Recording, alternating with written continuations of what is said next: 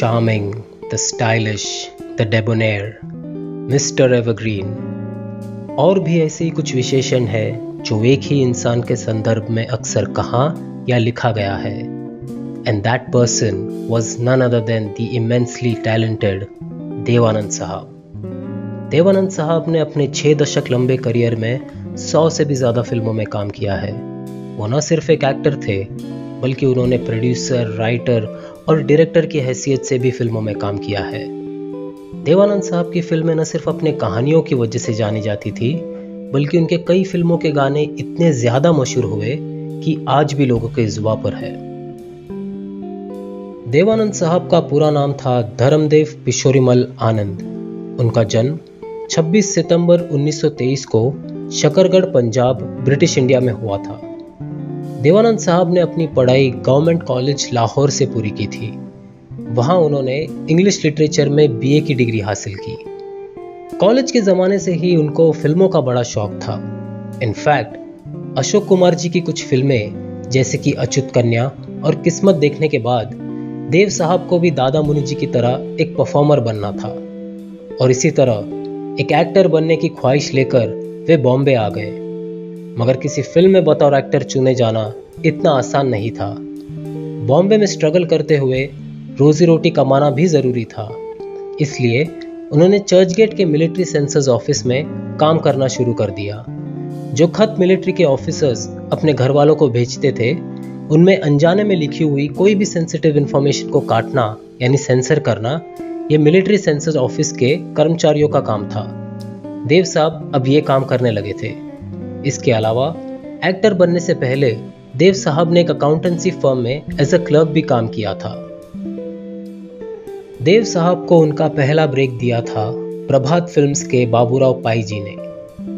एक दिन देव साहब प्रभात फिल्म्स के स्टूडियो के बाहर इंतज़ार कर रहे थे और जैसे ही बाबूराव जी स्टूडियो पहुँचे, उनकी नज़र इस नए लड़के पर पड़ी। वो अंदर गए और किसी को भेजकर उन्होंने देव साहब को अंदर बुलवा लिया। देव साहब ने उनसे अपने एक्टर बनने की मंशा ज़ाहिर की।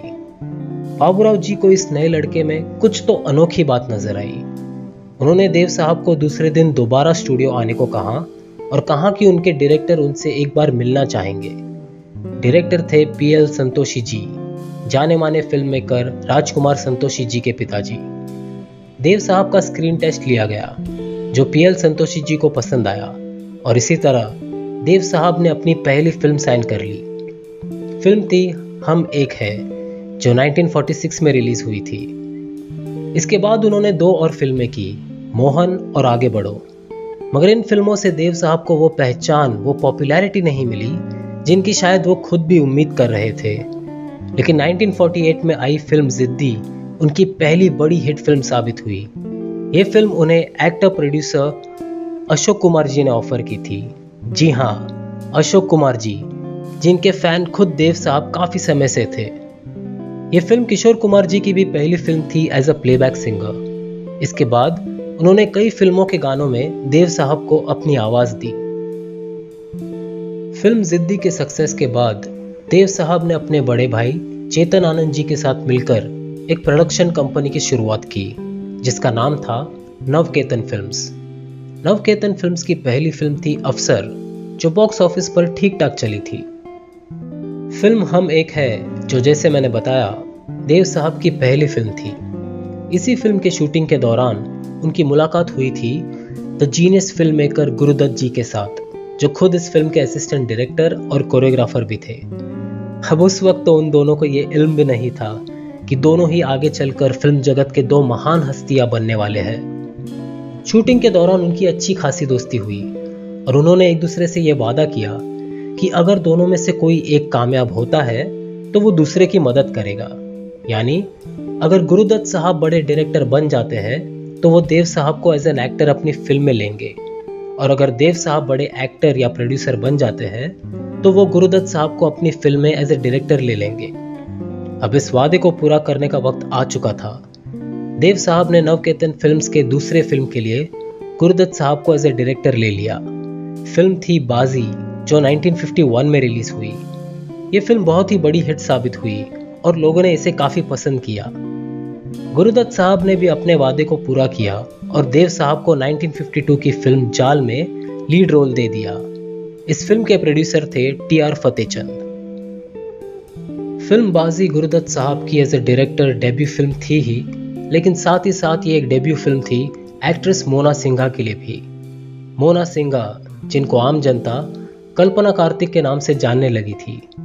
कल्पना कार्तिक ये नाम उन्हें चेतन आनंद जी ने दिया था। फ़िल्म बाजी के बाद कल्पना कार्तिक जी ने देव साहब के साथ और भी फ़िल्में की। फ़िल्में जैसे कि Aandhiyan, taxi driver, house number 44 और नौ दो ग्यारह। ये सारी फ़िल्में नवकेतन फिल्म्स के अंडर ही बनी थी। फ़िल्म टैक्सी ड्राइवर की शूटिंग के दौरान देव साहब और कल्पना जी के बीच प्यार हुआ और दोनों ने शादी करने का फैसला कर लिया। सिमी गरेवाल जी को दिए हुए इंटरव्यू में देव साहब ने इस बात का ज़िक्र किया है। उन्होंने बताया कि फ़िल्म टैक्सी ड्राइवर के सेट पर उन्होंने एक मैरिज रजिस्ट्रार को बुला लिया था। फिर शूट के ब्रेक के दौरान देव साहब ने कल्पना जी को इशारा किया और वे दोनों आर्ट डिपार्टमेंट में चले गए, जहाँ वो रजिस्ट्रार उनका इंतज़ार कर रहा था। अपनी शादी रजिस्टर करवाने के बाद देव साहब ने कल्पना जी को एक अंगूठी पहना दी।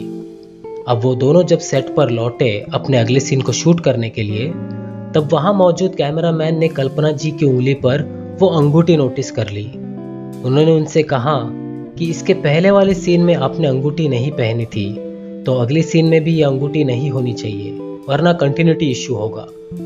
और क्योंकि उस कैमरामैन को देव साहब और कल्पना जी के अफेयर के बारे में पहले से पता था, वो तुरंत समझ गए कि ये अंगूठी ज़रूर देव साहब ने ही कल्पना जी को दी होगी।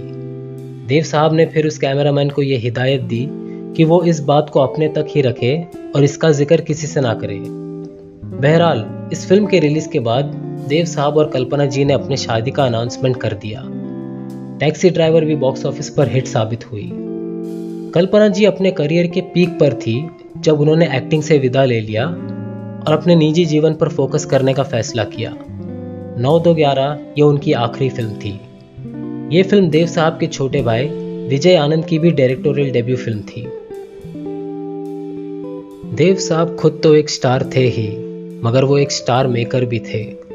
उन्होंने कई ऐसे एक्टरों को अपनी फ़िल्मों में मौका दिया, जो आगे चलकर बहुत ज़्यादा कामयाब हुए। इनमें से कुछ नाम है शत्रुघ्न सिन्हा इन प्रेम पुजारी जरीना वहाब इन इश्क इश्क इश्क टीना मुनिम इन देश परदेश तबू इन हम नौजवान जैकी Shroff in Swami Dada and of course, Dev Sahab's most famous find, Zeenat Aman in Hare Rama Hare Krishna. वैसे ये बहुत कम लोगों को पता है कि देव साहब और जीना तमान की साथ में पहली रिलीज्ड फ़िल्म हरे रामा हरे कृष्णा नहीं थी। बल्कि उनकी पहली फ़िल्म थी एक इंटरनेशनल इंग्लिश फ़िल्म जिसका नाम था द ईवल विद इन जो 1970 में रिलीज़ हुई थी। इस फ़िल्म में देवानंद साहब और जीनत अमान जी के अलावा प्रेमनाथ, इफ्तिकार एम बी शेट्टी, जगदीश राज और कई दूसरे इंडियन और इंटरनेशनल एक्टर्स थे। ये फ़िल्म यूट्यूब पर अवेलेबल है। तो अगर आप इस फ़िल्म को देखना चाहते हैं तो इसे यूट्यूब पर सर्च कर सकते हैं। देव साहब की सबसे बड़ी हिट और सबसे ज़्यादा फ़ेमस फ़िल्म है गाइड जो 1965 में रिलीज़ हुई थी। ये फ़िल्म इंग्लिश में भी बनी थी, मगर किसी कारणवश ये इंडिया में रिलीज़ नहीं हो पाई। मगर ये वर्जन अब यूट्यूब पर अवेलेबल है। फ़िल्म गाइड राइटर आर के नारायण की इसी नाम पर छपी नॉवेल पर आधारित है। ये फ़िल्म 1965 में ऑस्कर अवार्ड्स के लिए भारत की ऑफिशियल एंट्री भी थी। इस फ़िल्म को national award for best film in Hindi और बेस्ट फ़िल्म का फ़िल्म फेयर अवार्ड भी मिला था। देव साहब को उनका दूसरा best actor Filmfare award इसी फ़िल्म के लिए मिला था। उन्हें पहला फ़िल्म फेयर अवार्ड मिला था फ़िल्म काला पानी के लिए, जो 1958 में रिलीज़ हुई थी। सन 2001 में देवानंद साहब को हमारे देश का तीसरा highest civilian award Padma Bhushan दिया गया। फिर सन 2002 में देव साहब को दादा साहेब फाल्के अवार्ड से नवाजा गया। 3 दिसंबर 2011 को देव साहब इस दुनिया से चल बसे। उनका निधन दिल का दौरा पड़ने से हुआ। देव साहब अपने आखिर के सालों तक फ़िल्मों में काम करते रहे। उनकी आखिरी फ़िल्म चार्जशीट उनके देहांत के कुछ महीने पहले ही रिलीज़ हुई थी। साल 2013 में जब भारतीय सिनेमा के 100 साल पूरे हुए, तब इंडिया पोस्ट ने देव साहब के सम्मान में एक पोस्टल स्टैम्प जारी किया। देव साहब के फ़िल्मों के गाने सुनकर आज भी हम उन्हें याद करते हैं। इन सारे गानों में से सबसे ज़्यादा बेहतरीन गाना चुनना बहुत ही मुश्किल होगा। और ये तो हमारे पर्सनल चॉइस पर भी निर्भर करता है। लेकिन अगर कोई मुझसे पूछे कि देव साहब पर फिल्माया गया मेरा फेवरेट गाना कौन सा है तो मैं चुनूँगा फ़िल्म हम दोनों का गाना। मैं ज़िंदगी का साथ निभाता चला गया हर फ़िक्र को धुएँ में उड़ाता चला गया। मैं समझता हूँ कि ये सिर्फ़ एक गाना नहीं, बल्कि देव साहब की ज़िंदगी का एक आदर्श वाक्य भी था। उन्होंने ना कभी अपनी निजी जीवन के उतार चढ़ाव या फिल्मी करियर के फेलियर्स को खुद पर हावी होने दिया। वे बस उसी उत्साह से अपना काम करते चले गए।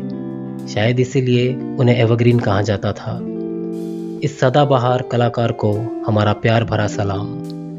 Ladies and gentleman presenting Devanand